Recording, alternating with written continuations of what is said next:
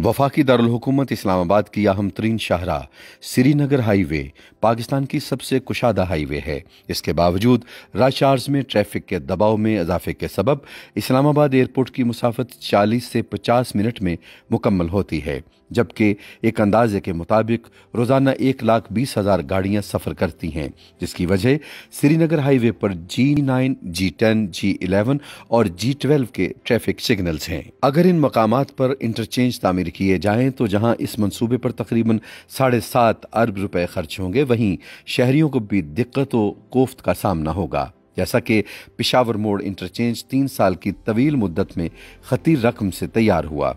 C D A इंतजामिया ने Srinagar highway पर इंटरचेंज की बजाय इस्लामाबाद पुलिस की मुशावरत से प्रोटेक्टेड यू टर्न तामीर करने का फैसला किया, जिस पर इंटरचेंज के मुकाबले में इंतहाई कलील रकम खर्च हुई और बहुत कम वक्त में मुकम्मल होने से शहरियों को परेशानी का सामना भी नहीं करना पड़ा। ये जो पीछे आप देख रहे हैं, ये प्रोटेक्टेड यू टर्न्स बनाए गए हैं तीन श्रीनगर हाईवे पे। इसमें दो ऑप्शंस थी। एक ऑप्शन ये थी कि इस पर इंटरचेंजेस बनाए जाएँ तो हमने जब इसकी एस्टिमेशन करवाई तो ये साढ़े सात अरब रुपए से ज़्यादा खर्चा इन पर आता था।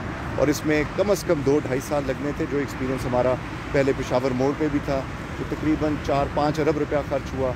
तीन साल उसे लगे कंप्लीशन में। ट्रैफ़िक दरम भरम हो जाती है, लोगों को इनकन्वीनियंस होती है। हमारा यहाँ से सफ़र होता था, उसको बेहतरी लाएँगे। हंड्रेड परसेंट सोल्यूशन ना हो, लेकिन मैं समझता हूँ सिक्सटी परसेंट बेहतरी या सेवेंटी परसेंट बेहतरी भी आ जाती है तो वो अचीवमेंट होगी और चंद करोड़ रुपए के खर्चे पे हमने ये तकरीबन दस पंद्रह दिन में ये अचीव कर पहले फ़ेज़ में G twelve G eleven police G ten और जी नाइन के दरमियान यू टर्न तामीर किए गए, ताकि श्रीनगर हाईवे पर सिग्नल्स को खत्म किया जा सके और ट्रैफ़िक के फ्री फ्लो को यकीनी बनाया जा सके।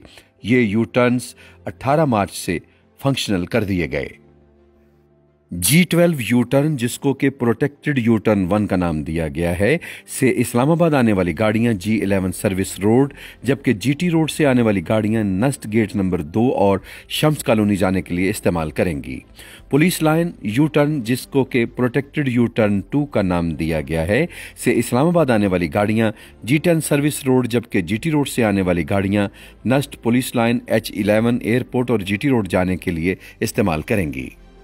जबकि जी टर्न यू टर्न जिसको कि प्रोटेक्टेड यू टर्न तीन का नाम दिया गया है, से इस्लामाबाद आने वाली गाड़ियाँ जी नाइन और जी एट के लिए इस्तेमाल करेंगी।